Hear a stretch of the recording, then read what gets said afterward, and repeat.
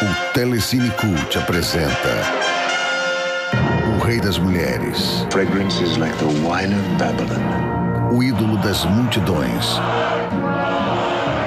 O mais bem relacionado. I have stood in the burning light of God's own presence.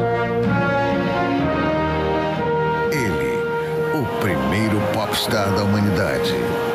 Na história que o levou ao estrelato.